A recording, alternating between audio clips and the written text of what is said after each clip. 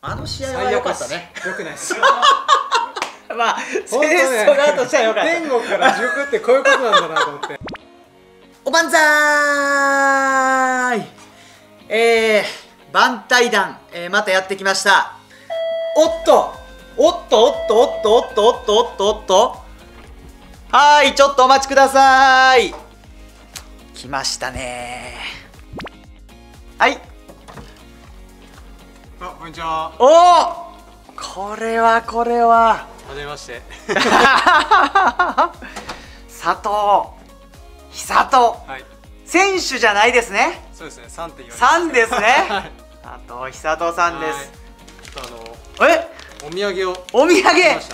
お土産初めてやな、はうん。数々のおばんざいやゲスト出たけど、お土産は初めてです。皆さんおしゃれなんで朝の朝食に。はい。ピーナッツバター。はい。ピーナッツバター。えー、すごいね、はい。おばんざい。えやっていいんですか？あやってよ。やってよ。いやっていいのかなやってよ。やってよ。おばんざいや。今日は、はい。えー佐藤久人さんですね、そうですね。ね？はい。いやーちょっと嬉しいですね。いやいやありがとうございます、はい。ありがとうございます。なんか、い。ほやほややもんねそうですねやめてまだ2ヶ月経ってない。まあ言ったら1月のはい。31、までははい。まではまあまあ選手として契約をしてて、はい。それが終わってからのまあまあ今いろいろねテレビとかにもいろいろ出たり、はい。解説もしたりとかしてるけど、まあそういう話もはい。聞きながらも、今日はまあおばんざいに出てきてくれたということですね、はい。何飲みます？お水を。お水、はい。い、やもう選手辞めたのにお水ですわもういや逆にうん。選手の時って結構トレーニングしてるじゃないですか。から多少なんかこうたまにちょっとお酒飲ん飲でむ全然うん。ありだと思うんですけど、うん。逆にやめてからのが、こう運動する量減ってるんで、逆に気使ってます。ん飲まへん。飲めなくなってますあー今ね今日まだ今15時とか15時半ぐらいやから、はい。そんな時間から飲むんかというふうに言われてまうけどはい。今日はちょっと俺飲みます。あいい あちょっと待ってて。じゃあ乾杯。乾杯。これ一応ねまだいい。あのいつものごとくアクリル板ありますからね。いや飲みたかったな。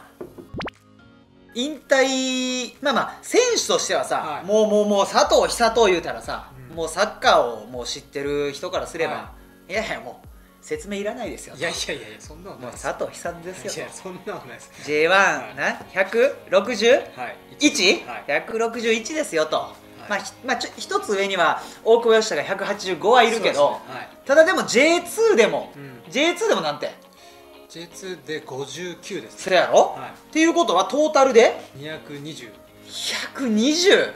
俺100 100ちょっとやからな。109やったかな、はい。J3 も入れてね。は109いやだから倍や。いいやいや。いやさすがもう全然。もうレベルが違う。やめてください。レベルが違う。レベルが違う。いやバンさんやめてください。バンさんにそれ言われたらいやいやほんまほんま。いや俺はほんまにほんまに。いやいやいいや俺そのまあまあ久人と俺はえーオシムジャパンの時に一緒やったよね、はい。で久人は代表はジーコさんの時にはい。呼ばれてるもんね、はい。でまあ久人とか大黒とか大黒は1個下で、久人が2個下で、は代表に呼ばれてるのに俺は呼ばれへんかってふざけんなと思って、うん、うん、そうですね。ジーコ呼んでくれよはというふうに思ってたけど、はい。まあ、オシムさんの時に呼ばれて、そこで初めてこう一緒にはい。やるようになって、はい。ジェフはセレッソ、で仙い台、はい。でサームレッチェ、はもうその仙台で点取りまくってたからさ。い。はいその時僕のこと知ってくれてたんですか？佐藤久人や。みたいいやいやいやいやいやないやめっちゃ知ってた。よ いやだってそのやっぱり、はフォワードってさ、はやっぱもうフォワードを見るわけやん。そうですね。それはすごいわかります。どんなやつやと、はい。どんなフォワードやと、はでやっぱ点もめっちゃ取ってたし、はい。仙台でも。だから J2 とかでも点取った J1 とかでも点取ったやろ？で、まあ、サンフレッチェ行ったんか、はでなんかあ佐藤久人やっぱやっぱ点取るなとか、はいすごいなとかやっぱやっぱあのリスペクトしてた。いあ本当ですか？すんごいリスペクトしてた。んで、ななんならそのリスペクトしてるのに、はい。久人から挨拶してくれたみたいなのが、はもう俺からしたら、はやっぱこいつは最高にええやつやな。あ本当ですか？入り良かったですね。入りはもう最高やった。もともと誰が好きとかあったの？もともとは本当に J リーグうん。が僕小6の時に J リーグ始まったんでうんうん本当にカズさんゴンさん好きで、まあそうやな、はい、追っかけて、うん。本当に一個一個のプレうーん。見て真似て、うん。僕らの年代って、うん。やっぱりどっちかというとサッカーって今はそれこそプレミアとかうん。リーガースペナとかありますけど、やっぱりセリエ A で見て育ったそうやね。セリエ A やセリエ A そこで、うん。やっぱり輝いたピッポはちょっとやっぱり特別でしたね。そうやな。バティとかさその当時活躍してたけど、はいバティのシュートとか無理やしなみたいな。バティはサイズがちょっとあったんで ちょっと違うそうね。はピッポはちょっと細くて、はい。ねなんかそのそんなフィジカルフィジカルじゃなくて、もうポジショニングとやっぱワンタッチでこう決めるみたいなのが、あのー特徴やったから、い、このモデルにしやすかったよね。そうですね。こういう選手みたいな。でそっからじゃあピッポってなってすごいやっぱなんていうの今みたいにさ、YouTube でじゃあその選手のことを見るみたいなのなかったわけはいその辺はどうしてた？いやビデオ買ってましビデオがあった？た、はい、ピッポインザーギの？はい。フリッポインザーギ。VHS の？あのやつ、はい。はいあれを見て何回も見てました。もうゴール大体覚えてますね。本当それこそ一歩見て、うん。それこそ J リーグだったらうん。柳さんとか、うん。まあ、本当ワンさん、うん。小栗さんとか見て、なんかその、やっぱり点を取る理由があるわけじゃないですか。そうね。のゴールシーンはなんでそのゴールが生まれたか、うんうん。やっぱそれを見て、うん。あこういうことをしたらゴール生まれるんだなっていうのをうん。自分なりに、まあ、理解して、うん。何をししたらいいのかっていうところにし、まあ、変換しましたね。1年目2年目で1年目2年目でどこ行ったっけ？1年目2年目ジェフなんですけジェど1年目リーグ戦はゼロで、ん。カップ戦で多分2点ぐらいですかね。うんうんうんで2年目は、まあ、監督変わったこともあって開幕スタメンで出させておいすごいやん。で開幕戦でもゴール決められたんですよ。おうおうすごいやん。で3節目ぐらいにも点取っておうおう言ったら3試合で2点とかおうすごいいいスタートじゃないですか。19歳やろ、はい。まあ言ったらね2年目やから。でうん。その後ワールドユースがあっておうワールドユース行きましうん。た帰りましたうんって言ったら言ったらもうチームはそのまま動いてるんでまあまあまあそうやな。もうベンチは入れないなるほどなるほどなるほど。その当時まだ試合のメンバー16人だったじゃないですか。ああそうね。最初16人やったな。で大体フォワーうんド2トップがスタメンうんで、うん。サブも当時はあの2枚フォワードいたんですけど、うんうんうん。ちょうど僕がワールドユース行ってる間に、うんうん。その夏の補強で、うん。サイドバック補強して、うん。サイドバックの選手をベンチに入れるなるほどなるほどなるほど。フォワードの枠が1枚なるほどなるほど。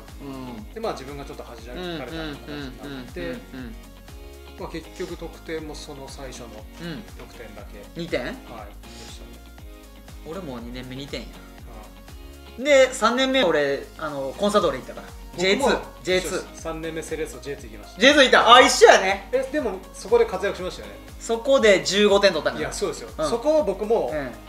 言ったら、うん。まあやっぱり2個上なんで、うん。それを見てるわけじゃない。あ そうね。ですかそういう、うん。まあ、キャリアを、うん。やっぱり J2 でうん。実戦を積んで、うん。また戻って勝負したいって思って、あのセレッソが J2 合格したんで、うんうん。当時の監督がユース代表のうん。うん監督指導されてた西村さん西村さんだったん。で、呼ばれて行ったんですけど、うん。うん。結果13試合でうん。点も2点、あー。13試合全部途中出場なんですよ。あ J2 ですよ。ー せや J1 な。まあせやな。はい。あの時アキさんとか森島さんいてあとヨシトとかもいたんか。あで真中さんもいて。ああそうか。本当にジェフよりもうん。選手層が厚いセレッソに、うんなんでそこ行った？いやそうなんですよ。そうなんですけどタイミングなんですよ。オファーもらいました。あ行きます。あで答え出して1週間後にアキさんがボルトンかうんいや戻ってきたよな、はい。な？るほどなるほど。え？みたいな。いやこれあるあるね。そうです。え？っと思って。そしたら逆にそのジェフの監督やってて、うん。そのまあ、僕はもう途中から使われなくなった、うんうんズレンコ・ベレデイクさんが、名古屋に引き抜かれたんですよ。そんなことないじゃないですか。うん。監督が来年決まってるそうやな。で監督変わったし、いうん。やお前やっぱり残れよって、うん。ジェフ側から言われたんうですけど、ん一回うん。出ますって言っときながら、いややっぱり残ります言えないじゃないですせやなせやな。かだからもう、うん。いや自分は行きますで言ったんですけど、うん結局行ったらまたそのすぐにその当時のボスニアうん元代表のなんか、うんトゥルコビッチってうん。いうストライカーを補強したんですよ、なるほどなるほどえ？それ聞いてないと思って。うんえ？何人いるの？フォワードって言ったら、はそうやねんな。い、でちょうどやっぱりワールドカップイヤーだったのでうん。その森島さんと西田さんが2人うん抜かれるっていう抜かれるのを想定して枚数をうん僕僕に取ってるのでうんうんでも抜かれてないいる時はどうだったらもう単純になる人数オーバーですほどな え広島何年いたやったっけ？広島12年いまし12年いた。あ、い。そんなあそんなに？たはえ現役は？い21ですね。21あ一緒や。21や。はあ一緒やな。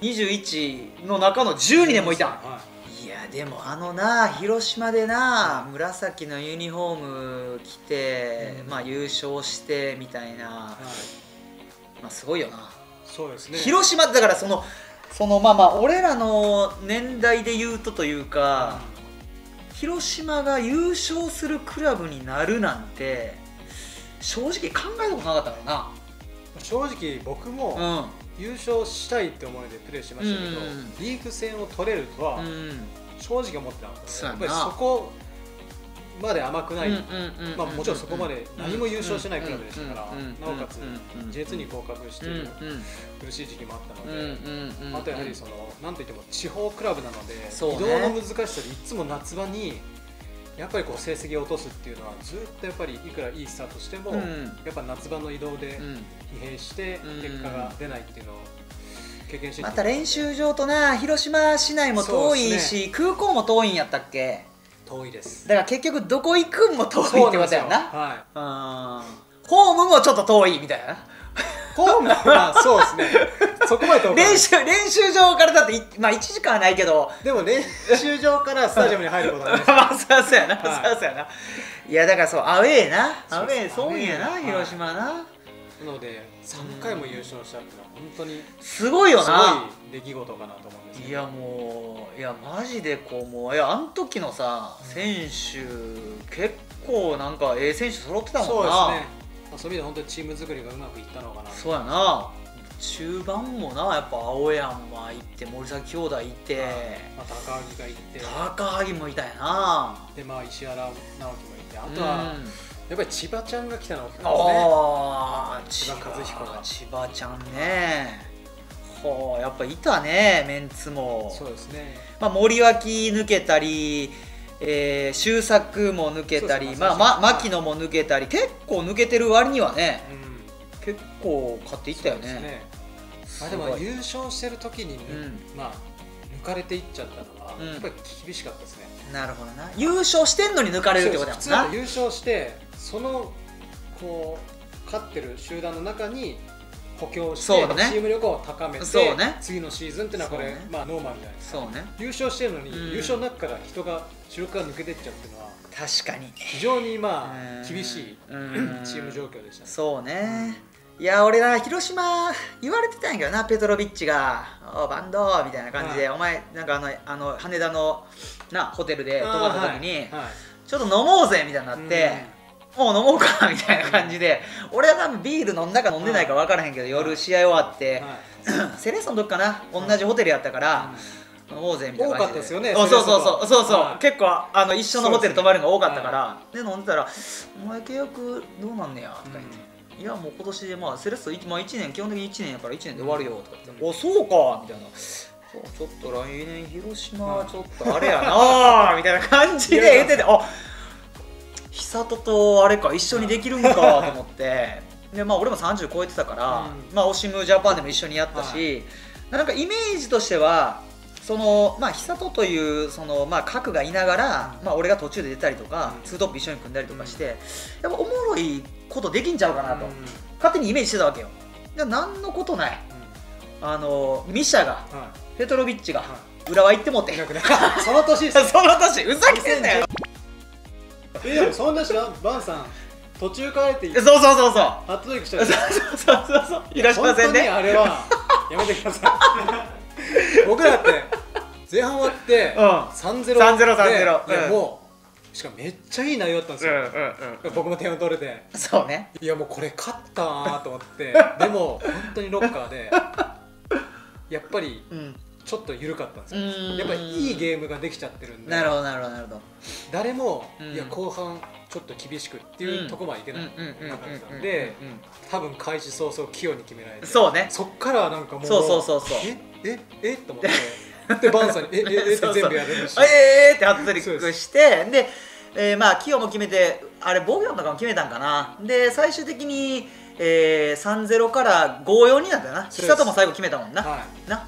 5-4あの試合は良かったね。よくないです。よ まあ本当ね。セレッソ側としては良かった。天国から塾ってこういうことなんだなと思ってだって2-0から逆転ってよくあるじゃないですか。ね。このサッカーの世界だと。うんうんうん。そう2-0は一番危ないから気をつけろって言うけどうんうんうん3-0で3-0な気をつけろっていう人なんかまあいないですから。確かにな。3-0はちょっとあれやったな。その後もやっぱうん。3-0になっても 気をつけろってなってました じゃあまあじゃあまあサンフレッチェがあれ優勝したのはあのああいそう試合があってはい。それを教訓にしたということもあ あるかもしれへんかったということだね。にしかも途中から出てるんですからね。スタートがしかもあの時スタートケンユだったんですよ。まだケンユ高校生だったんで。そうねそうね。だからえ？なんで俺ら舐められてんの？みたいなちょっとあったんですよ。そしたらケンユ変わってバンさんだったらパンパンパンってやられるから。やりたいですね。ややりたいいややりたい。まあ実際まあそのそういうちょっと話は。あ話はある。まあ。まあまあ